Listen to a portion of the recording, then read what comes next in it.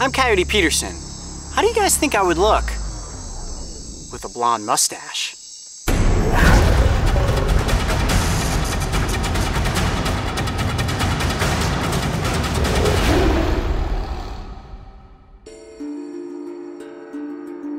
The rainforests of Costa Rica are filled with beautiful animals.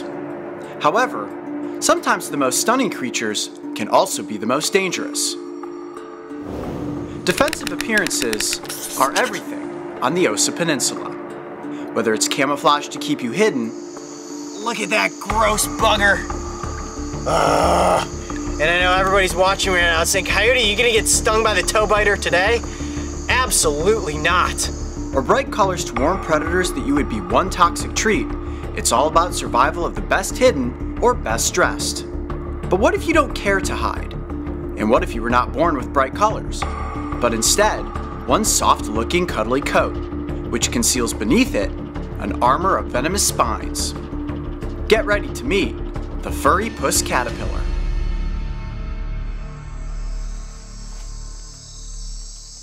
Holy cow. Look at this. Look at this caterpillar. What are you looking at? Whoa. You don't know what that is, do you? No, no, I wouldn't This- touch that. Is what the locals call a fire caterpillar. You sure that's a caterpillar? Oh yeah. Watch out, I'm gonna bend this branch down because I don't want him to fall on my face. I would be in pain for hours. Look at that. It looks like a mustache. I don't exactly know the proper name for this caterpillar. This caterpillar has many nicknames. On the Osa Peninsula, it's known as the fire caterpillar. However, it is more commonly called the furry puss caterpillar because it so closely resembles a fuzzy kitty cat. In the world of science, this is actually a flannel moth caterpillar. But don't let their adorable and cuddly looks fool you. This fuzzy puss is covered in urticating hairs, and if you're unfortunate enough to make skin contact, these hairs can be extremely irritating. What's even worse is that just below the hairs are venomous spines. Get a handful of those, and for nearly 12 hours, you will be in excruciating pain.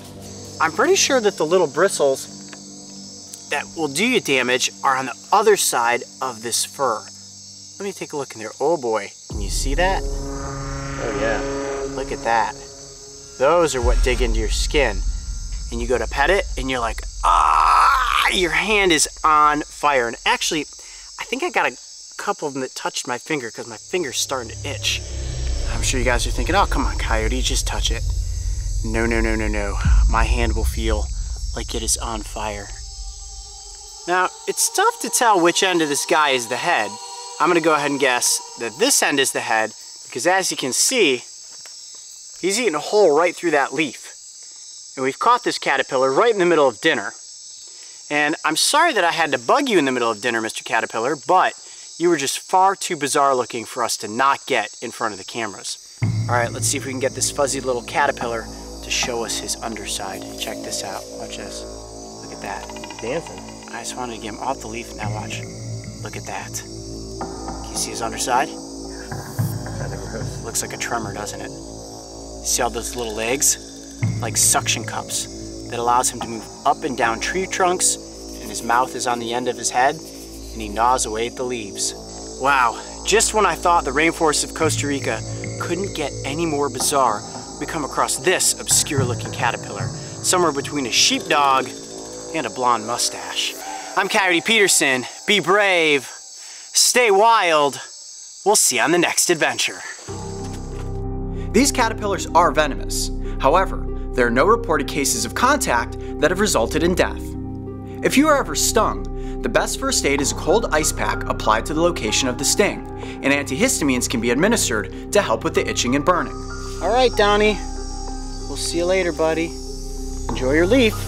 Lesson to be learned here if you see a caterpillar that looks soft and fuzzy, do your absolute best to avoid cuddling with it. If you thought this was one bizarre looking creature, make sure to check out my encounter with the hooded leaf mantis. And don't forget, subscribe to join me and the crew on this season of Breaking Trail. And I imagine that they must have pretty good eyesight how big their eyes are. And look at how he can just tuck his arms underneath his thorax like that.